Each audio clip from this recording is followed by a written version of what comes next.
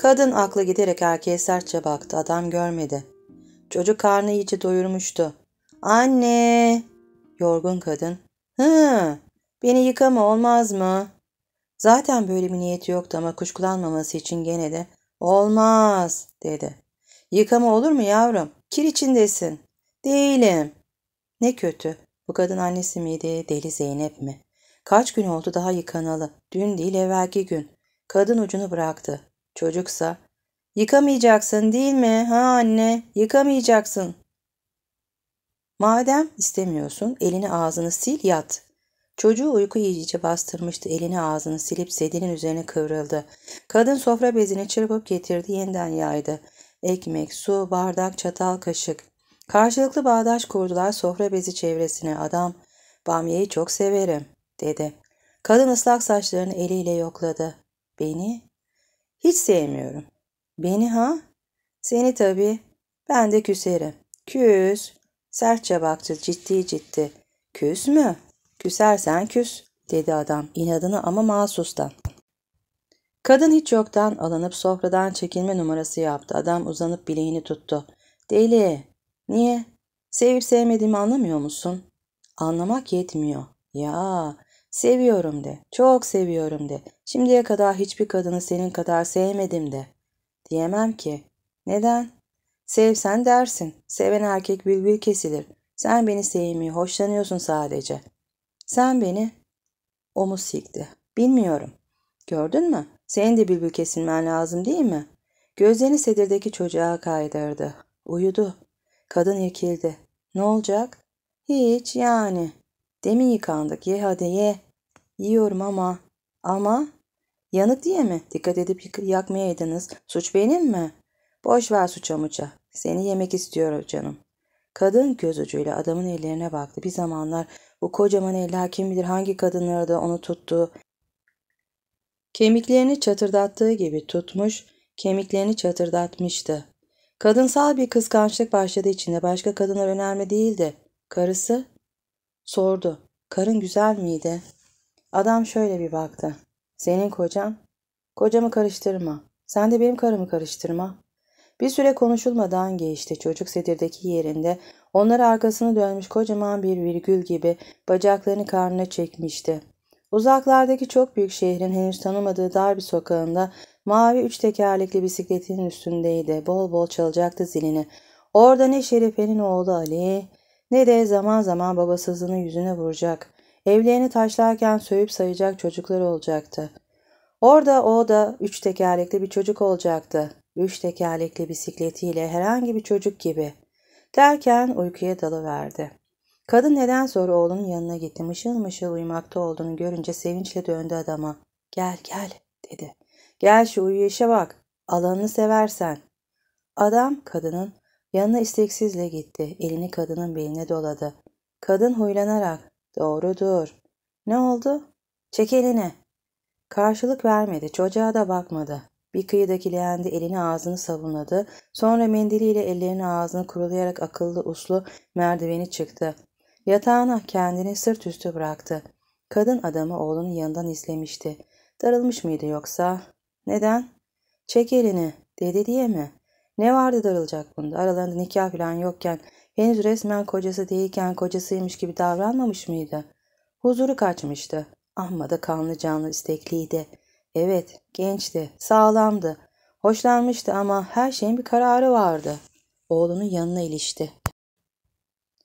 Darıltmış olman üzüntüsü başlamıştı içinde. Hoşlanmasa el atmazdı adam. Hoşlandığına göre sonra ne çıkardı? Bir, iki, üç eksik ziyade ne fark ederdi? Oğluna yeniden baktı. Sonra merdivene gitti. Bir solukta çıkıverdi. Habib'in yarısı kurudu. Kabuk bağladı. Kaşırken de kabuk düştü. Düşen kabuğun yeri pes pembeydi. Kadın bu pes pembe yeri kim bilir kaçıncı kez öptükten sonra ya sahiden evleri aramaya kalkarlarsa diye sordu. Adam bunun konuşulmasını bile istemiyordu. Biliyordu ki evler aranırsa sıra Hacer'in evine de gelecek. Gelince de meydana çıkacaktı. Çıkınca da bileklerine kelepçe vurulacak. Belki de iki jandarmanın arasına bir cipe atılıp Adana'ya götürülecekti. Sonra Sonra mahkeme, muhakeme, daha sonra da bir gün sabaha karşı dar ağacı. Kadının sorusunu yanıtladı. Aramaya kalkarlarsa beni bulur alıp götürürler. Kadın gayet iyi bildiği halde nereye? Hapishane, mahkeme, muhakeme ardından da adamın ağzını eliyle kapadı. Sus sus, ağzını hayra aç.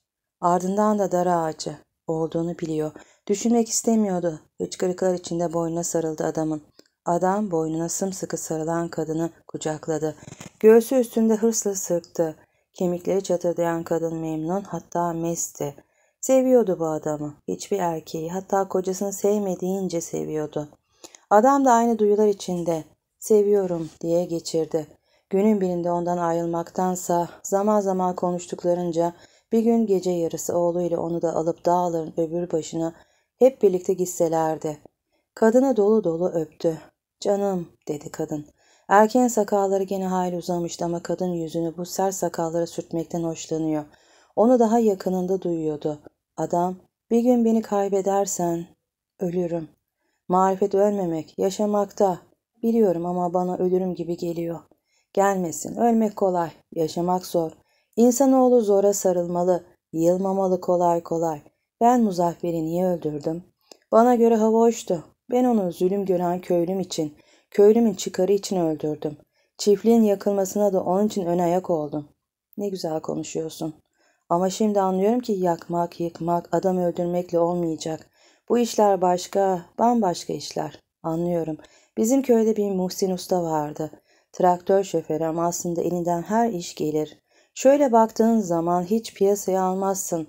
Lakin kitap gibi konuşurdu. O öyle demişti. Ne demişti? Vurmak, öldürmek, yakıp yıkmakla hiçbir şey hallolmaz. Vazgeç bu sevdadan demişti de dinlememiştim. Adam haklıymış. Geç vakte kadar konuştular.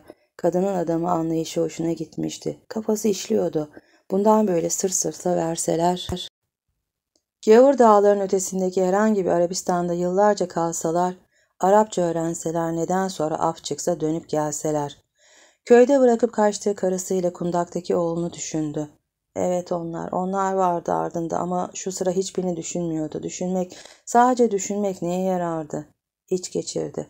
Başı göğsü üzerindeki kadın sordu. Ne o? Hiç. İçini niye çektin? Öyle. Benden gizli mi? Hiç ummadıkları bir anda ev aranır ele geçerse ne yapabilirdi?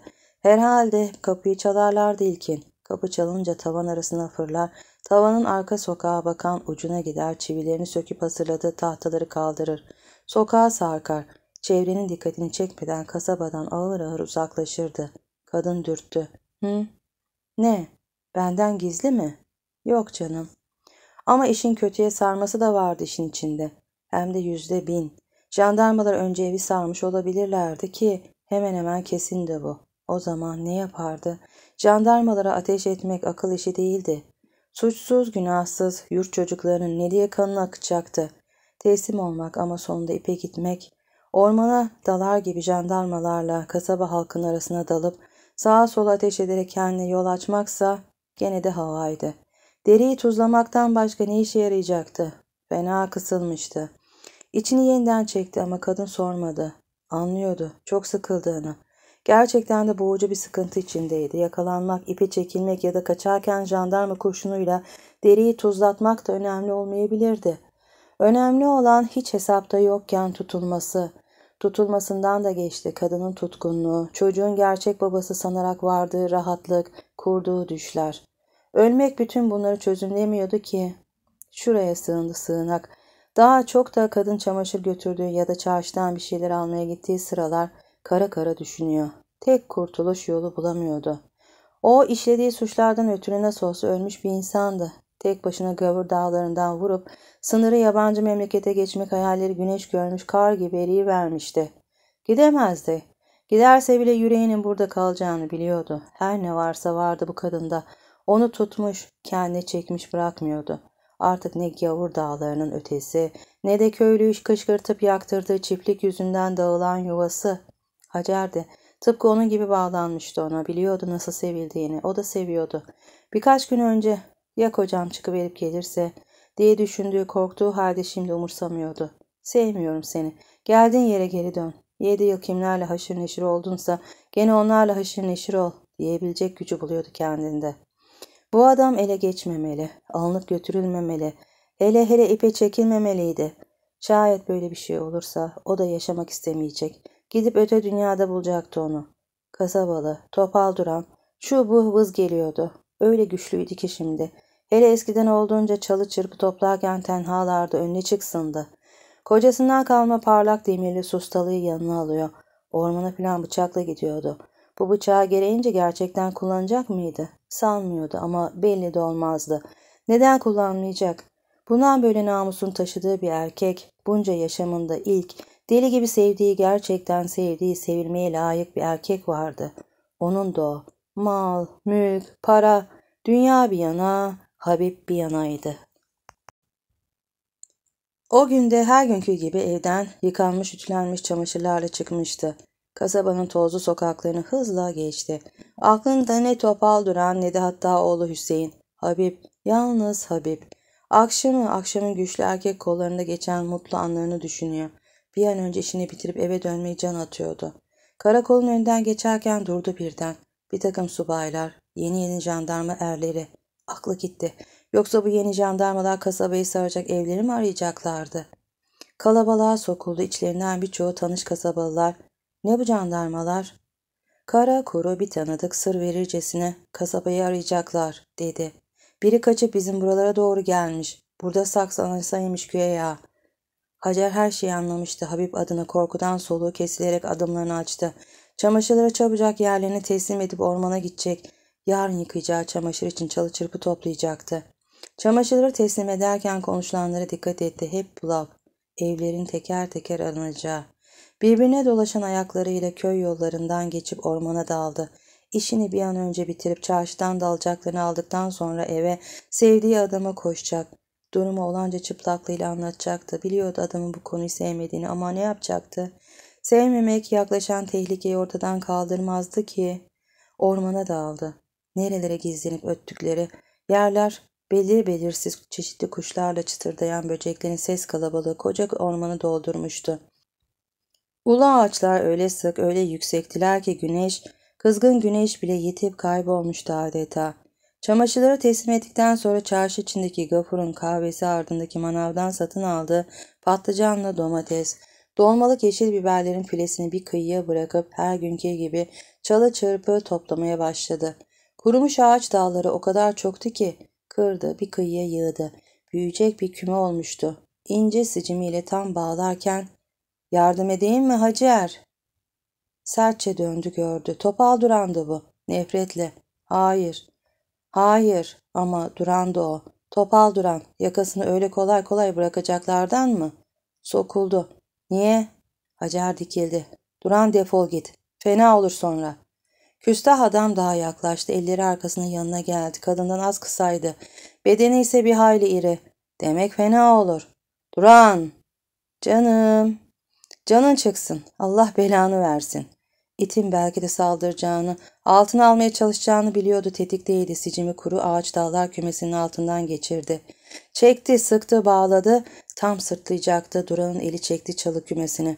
Hacer kümeyle birlikte sırt üstü devrildi. Topal Duran saldırdı. Allahsız oğlu Allahsız. Senden mi uğraşacağım? Bir boğuşmalar başladı. Hacer çılgın gibi ayağa kalkmaya çalışıyor, hınçla söyleniyordu. Ölürüm gene de sana teslim olmam. Topal duransa kararlıydı. Olacaksın. Olmayacağım. Olacaksın diyorum Hacer. Olmayacağım. Olmayacağım. Olmayacağım. Kadın üstü başı parçalanmıştı ama hınçla kinle olanca gücüyle boğuşuyor. Topalın güçlü pençelerinden kurtulmayı savaşıyordu. Gözlerin akları kızarmış boynu boğazı tırmık tırmık olmuştu. Ne olursa olsun. Teslim olmayacak ölecek ama Habib'in üstüne hiçbir erkeğe vermeyecekti kendini. Hacer aksiliği bırak. Bak burada yapayalnızız. Bizden başka kimse yok doğrudur. Hiç kimseye demem. İstediğin kadar para. Param başında parçalansın. İt oğlu it. Ben. Bana. Bana ha. Tabii sana. İtsin it oğlu itsin. Boğuşma yeniden kızıştı. Kadının tokat, tekme, yumrukları güneşte iyice kararmış duranın kara suratında patlıyordu. Zevkleniyordu hatta. Bu aylar, yıllar hasretini çektiği kadının değildi tokadı. Yumruğu, bıçağı, tabancası bile vız gelirdi. Birden kadının her zamandan daha sert tekmesi, topal duran çenesine yediği tekmeyle sırt üstü yuvarlanmıştı ki Hacer yanında taşıdı, parlak demirli sustalıyı çekti. Üstüne deli camız gibi gelen adamı rastgele birkaç kez savurdu. Bıçak yerini bulmuş topal Duran'ın karnına, kasığına saplanmıştı ki Duran adeta böğürerek devrildi. Hacer ayakkabılarını eline alarak parçalanmış üst başıyla kaçmaya başladı. Eve geldi. Mahalleli, başta Şerife, herkes hayretler içindeydiler. Hiçbir şeyin farkında olmayan Hacer ise avlu kapısından girmiş, kapıyı sıkı sıkı kapamış ardına tahta sürgüyü çekmişti. Koşarak odaya girdi birden Habib ve oğluyla karşılaştı. Habib odanın ortasına oturmuş Hüseyin'e iplik makaralarından tekerlekli bir araba yapıyordu. Ayağı fırladı. O ne? Hacer neredeyse bayılacaktı. Çabuk yukarı çık saklan. Allah yokluğunu vermesin. Ne var ne oldu? Ormanda topal duran iti saldırdı bıçakladım. Neredeyse beni almaya gelirler. Aman tavan arasına çık saklan hemen. Habib tokat yemişçesine sarsıldı bir an. Gözleri kararmaya başladı. İşte şimdi tamamdı. Az sonra gelip kadın tutuklayacaklar. Sonra, sonrasını düşünmeye vakti yoktu. Komşular filan toplanmış evin çevresinde büyük bir uğultu halinde Hacer'i konuşuyorlardı. Neydi o karının hali kız? Vallahi hiç bilemedim. Üstü başı paramparçaydı. Eli yüzü de tırmık tırmık. Ormanda önüne kurt mu çıktı acep? Nasıl kurtmuş bu? O biçim kurtu işte. Başta Şerife komşuların yansıyıp duran seslerini işittiği halde karşılık vermeyi düşünmüyordu. Habib, yukarı gel, dedi. Hacer sedire kapanmış yanı başında yaşlı gözleriyle annesine bakmakta olan oğlunu görmüyordu. Adamın çağıran sesini duyunca yerinden kalktı gitti merdiveni çıktı. Buyur. Adam çok endişeliydi. Seni almaya gelirlerse ne olacak? Bilmiyorum. Anlat ne oldu? Topal duran ormanda önüme çıktı saldırdı. Ben de. Sen de çektin vurdun. Başka ne yapabilirdim? Yatsa mıydım herifin altına? Onu demek istemedim. Yapılacak başka şey yoktu. Bak şu boynumun boğazımın tırmıklarına. İfaden de bunları hep söyle. Söylerim. Merdivene indi. Sonra da indiği merdiveni alt eve kaldırdı. Adam da tavan arasına çıkılan dört köşe deliğin kapağını yukarıdan kapatmıştı. Şimdi ne yapacaktı? Kadını çok değil yarım saat sonra gelip alırlar. Belki de şehri hapishaneye götürürlerdi. Büyük bir sıkıntıyla sigara paketini çıkardı. Az kalsın bir sigara yakacaktı ki kendine geldi. Şu anda sigaraya her zamandan çok ihtiyacı vardı ama olmazdı. Evin çevresinde ağzı kara komşular paketi koklamakla yetindi. Allah kahretsin Ne diye ellerini çabuk tutup gitmemişlerdi şuradan. Kim ne bilecekti? Bir gece usul açık evden çıkar dağ yollarına düşerlerdi. Oradan da bir kolayını bulup sigarasını yeniden kokladı. Dışarıya kulağını verdi. Komşuların ses kalabalığı artmıştı.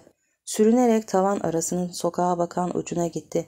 Bir budak deliğinden aşağıya baktı. Kadınlı erkekli, çoluk çocuklu komşular hep de bu meseleyi indirip kaldırıyor. Hacer'in şimdiye dek hiç görmedikleri bu yırtık pırtık, bu perişan halinin nedenini kestirmeye çalışıyorlardı. Hiç kimse asıl nedenini bilmiyordu henüz. Asıl neden gerçekten de bilinecek gibi değildi. Şayet 20 dakika sonra yaralı duran kendine gelip de karakolun yolunu tutmasa, durumu karakol komutanına anlatmasaydı gene de asıl neden bilinmeyecekti. Ormandan karakola kanlar içinde giderken yolda rastladığı bildik gördük, tanıdıklar koştular amcasına haber verdiler. Haşim Ağa gümüş saplı, çerkez kamçısı elinde karakola öfkeyle geldiği sıra Duran'ın ifadesi alınıyordu. Sertçe sordu. Ne bu vaziyet lan? Topal Duran karşılık veremedi. Nasıl verebilirdi ki saldırdı? Bir kadınla başa çıkamadıktan sonra ondan bıçak da yemişti. Başçavuş.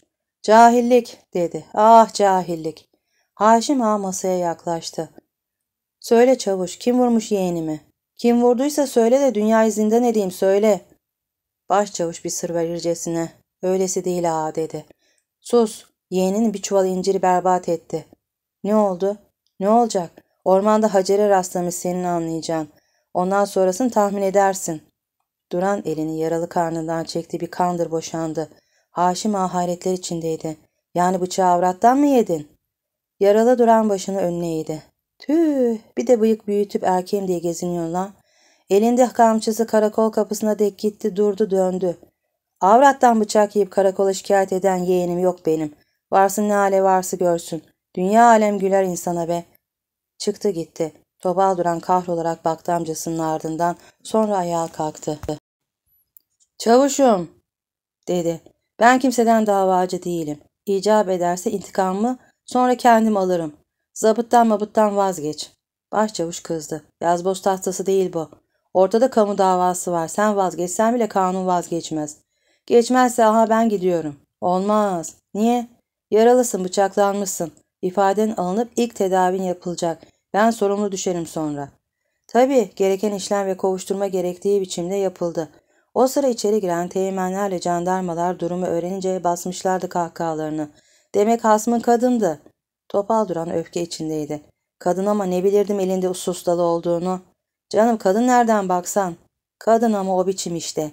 Ne biçim olursa olsun nereden baksan kadın ya o. Yalnız karakolda değil topal duran yarım saat içinde kasabaya da rezil olmuştu. Hacer'i tutuklamaya gelen jandarmaların ardında bir alay kasabalı gülüyor, kadın övüyorlardı. Aşk olsun avrada. Aşk olsun ki aşk olsun. Doğrusu tam yiğit avratmış. Kahraman Kara Fatma desenize. Böylelerine tam Osmanlı derler. Jandarmalarla kasabalarına yaklaşan ayak sesleri konuşmalarını falan işiten Habib, gizlendiği tavan arasında yeniden sürünerek uca geldi. Aşağıya baktı. Bir anda evin önü alabildiğine dolu vermişti. Kapıyı avuçlarıyla vurdular. Hacer Hanım! Hacer zaten bekliyordu. Yaşlı gözleri eteklerine tutunmuş oğluyla sedirden kalktı dışarı çıktı. Avlu kapısını açtı. Efendim? Karakol komutanı söylediklerini sözde dinledi. Hiçbir şey anlamamıştı. Yalnız karakola davet edildiğini, ifadesini alacağını, sonra da tutuklanarak şehre suçüstü mahkemesine gönderileceğini, belki de hapse atılacağını kestirmişti. Tek direniş göstermedi, hiçbir şey sormadı da. Önce oda kapısını sonra avlunukini çekip yaşlı gözlerle kitledi. Daha sonra da kalabalığın önüne düştü oğluyla. Ardında gittikçe büyüyen başıbozuk kalabalığını duymuyordu bile. Habibi düşünüyordu sadece tavan arasında ne yapacaktı. Aşağı nasıl inecek insan inse bile. Karnın neyle doyacaktı? Gerçi un vardı, bulgur vardı, çömleğin dibinde biraz yağ vardı. Hatta ekmek bile vardı ama erkek başıyla iki ucunu nasıl bir araya getirecek? Sonu ne olacaktı? Bunun için ağlıyordu işte. Çavuşsa, hanım, olan olmuş diyordu. Ağlamanın hiç faydası yok. Merak etme. Duran Efendi ifadesine sana kendisini saldırdığını itiraf etti. Zaptı öylece geçtik. Hatta davasından bile vazgeçti ya, kanun geçmez tabii. Çok bir ceza yemezsin. Habib Habib'i tavan arasında kısılı olmasa ceza yemiş yememiş umurunda değildi. Duran'ı çekip vurduğundan da pişman değildi. Hatta onu o sıra öldürebilir dedi ama Habib ne olacaktı? Oğlu Hüseyin de ağlıyordu. Onun ağlamasının nedeni buradan kurtulup uzaklardaki şehre gidememeleri ihtimaliydi. Bundan sonra da artık her şey bitmişti galiba. Ne uzaklardaki şehir, ne tavan arasındaki babası, ne de üç tekerlekli bisiklet. Atlarındaki kalabalık habire konuşuyordu. Kadın haklıymış. Tabii haklı. Canavar gibi saldırmaya ne hakkı var? Lakin aşk olsun karıya demek uçkuruna sağlanmış. Ee, gönül sevmezse zorla güzellik olur mu? Olur mu? Akıl var, yakın var. Karakola gelindi duran da oradaydı. Jandarmalar meraklılara içeri sokmadılar. Kapı kapandı Hacer'in ifadesi alınmaya başlandı. Bütün bunlar olurken topal duran bir kıyıdan ters ters bakıyordu. Oysa biliyordu suçlunun kendisi olduğunu. Kadın üstüne canavar gibi saldırmış zorla sataşmaya yeltenmişti. Suçluydu suçlu olmasına ya gene de kırılmış erkeklik onuruyla dehşetli bir hınç duyuyordu. Jandarma mahkeme hapishane yoluyla değil, bireğinin gücüyle almaktan yanaydı. Onun için kaçınılmaz bir şeydi bu. Aksi halde kasabanın dilinde destan olacak, amcasının şerefine ise iki paralık ettiği yetmezmiş gibi yerlere düşürdüğü bu şerefi yerden kaldıramayacaktı. Neye mal olursa olsun, kaça patlarsa patlasın alacaktı öcünü. Bütün bu düşünceler hatta daha çok daha korkunçlara şehre götürülürken cepin içinde de kafasından seller gibi aktı durdu. Ne aldığı yara ne de yitirdiği onca kan umurundaydı. Amcasının karakolda söylediklerinden kahroluyor, öfkesi arttıkça artıyordu. Bir ara başını kaldırdı çocuğunu kucağında sımsıkı sarmış Hacer'e baktı. Göz göze geldiler. Topal duran homurdandı. Alacağın olsun, unutma bunu. Hacer zerrece korkmuyordu. Olsun ulan, dedi. Beni tehdit mi ediyorsun? Bilmem, tehdit mi, başka bir şey mi? Elinden geleni geri korsan, senden alçağı yok. Çılgına döndü. Kız, cinlerimi başıma toplama ha. Yekindi. Toplansın lan. Toplansın bakalım ne olacakmış. Tüfekli jandarmalar araya girip yatıştırdılar. Lakin Hacer fena kızmıştı. Herif az daha ileri gitse kucağındaki çocuğunu itip saldıracaktı. İç geçirdi. Ne diye? Ah ne diye şu deyüsü gebertmemişti. Demek insan bu. Ya da bunun gibi çılgına döndüğü anlarda cinayet işliyordu. Boşuna. Öfke baldan tatlıdır. Dememişler. Aklından Habib geçti. O da demek baldan tatlı bir öfke yüzünden büyük çiftçi Muzaffer Bey çekip vurmuş. Sonra da çiftliğini köylünün yakmasına ön ayak olmuştu. Evet, evet anlıyordu. Gayet iyi anlıyordu. Ölen değil, öldüren haklıydı. Peki ama şimdi üst üste kitli, kapılar ardında daracık tavan arasının tozu, toprağı içinde aç susuz sigarasız ne yapacaktı? Sigara değil de susuzluğunu düşünüyordu ama hayır. Susuz da değildi. Tesiste bir akraçta su vardı. Oğlu bir ara korkuyla anne dedi usulacık. Annem. Çocuğun gözü birden topal durana ilişince hiç dedi. Kadın çocuğunun bir derdi olduğunu anlamıştı. Nasıl hiç? Söylesene. Gözleri topal duranda. Ondan korkuyorum. Kadın sertçe baktı bakıştılar. Nesinden korkuyorsun? Ama çocuğun asıl söylemek istediği bu değildi. Ağzını annesinin kulağına yaklaştırdı. Babam. Ne olmuş babana? Ya bu gece gene giderse? Nereye? Geldiği yere. İç geçirdi. Bunu o da düşünmüyor değildi. Asıl kocası gibi. Bu da savuşur gider bir daha da hiç dönmezse. Ya da ele geçip hapse atılır sonra da dar ağacına. Gözleri doldu. Neden böyleydi bu dünya? Niçin insan istediğince yaşamasına engel olunuyordu? Üç kişiye pırıl pırıl bir dünya yaratmışlardı. Başlarını alıp uzak, çok uzaklardaki büyük şehre gidecekler herkesten uzak, dilediklerince yaşayacaklardı. Habib de tavan arasında hemen hemen aynı şeyleri düşünüyordu. Neden, için bırakılmıyordu insanlar dilediklerince yaşamaya? Elindeki sigara paketini hırsla kokladı. Hadi diyelim ki onun bundan böyle rahat yüzü görmeye hakkı yok. Adam öldürmüş, çiftlik yaktırmış. İyi ama bütün bunlar sebepsiz mi? Muzaffer'i öldürdüysen bin sefer hak etmedi miydi? Sırtını yıllar yıl iktidardaki partinin hükümetine daya, Allah'ın belki de fakir fukara için halk ettiği, sahipsiz toprakları pençene geçirdiğin yetmezmiş gibi milletin tapulu topraklarına da sark. Irza namusa el at, belindeki tabanca altındaki arabaya güvenip o kadar insan içinde adam tokatla, vur, kır, yak, yık, kimseye hesap verme. E nesin yani? Allah mısın tövbe estağfurullah. Değilsin. Sen de benim gibi bir kul, balın nerede? Sigarasını yeniden kokladı. Ölümü bin değil belki de on bin sefer hak ettin ya. Musinus da gene de haklı. Anlıyorum. Adam öldürmek, çiftlik yaktırmakla iş bitmez Habib dediydi. Her haklı, hakkını haksızdan almak için öldürmeye kalkışsa dünyada adam kalmaz. İçini sıkıntıyla çekti. Anlıyordu. Muhsin Usta haklıydı. Adam öldürmek, çiftlik yakmakla önüne geçilemeyecekti bu işlerin. Ne haksızlık tükenecek ne de malın mülkün sahipleri. Birini çekip vursan ardından beşi. Onu çıkıyordu. Şu halde... Şu halde bu işlerin düzene girmesi için başka yollar olmalı. Sigara paketini yeniden kokladı. O, bu değil de bundan böyle ne türlü davranacaktı? Hacersiz günler geçirecek, aşağıya inmeyecek, sigara içemeyecek, Hüseyin oynayamayacaktı. Ne kötüydü be. Tabancasını çekip ortaya atılsa, gerekirse vuruşa vuruşa deriyi tuzlasa daha mı iyiydi? Bundan böyle köyü, evi, asıl karısı, kundaktaki oğlu, bütün bir dünya haramdı. O haram dünyadan kaçmak, kafasına uygun yeni evler, yeni sokaklar, yeni işyerleri, yepyeni insanlarıyla yarattığı, yeni dünyasında yaşamak umudu da silinmişti. Madem böyle, dilediğince değil de bir takım yasak ve haramlar dünyasında yaşamak zorunda olan bedeninin yaşamına kendi eliyle son verse nasıl olurdu? Yatağının yanında duran tabancasını aldı. Çatıdan vuran bir ışık çizgisi tabancasının çıplak demirinde çımkılanmıştı. Bir anlık bir çılgınlık. Bum! Sonra artık ne yaşama hırsı, ne vicdan azabı, ne de çeşitli korkular. Tabancayı şakağına yaklaştırdı, parmağı kendiliğinden gitmişti tetiğe. Bir an, küçük küçücük bir an, sonra her şey dümdüz. Birden aklına Hacer'le geçirdiği gecelerin tadı geldi. Hacer iliklerine de kadındı doğrusu bunca yıl. Karısı da dahil Adana barlarında tanıdığı kadınlar arasında böylesine rastladığını hatırlamıyordu. Bütün kadınlar bir bakıma birbirlerine benzerlerdi belki ama bu başkaydı. Ona öyle bile gelse madem bambaşka bir tat alıyordu, o halde öteki kadınlardan elbette başkaydı. Tabancayı aldığı yere bıraktı. Sonra ne demek oluyordu ölmek? İşin kolayıydı be. Ne derdi Muhsin Usta?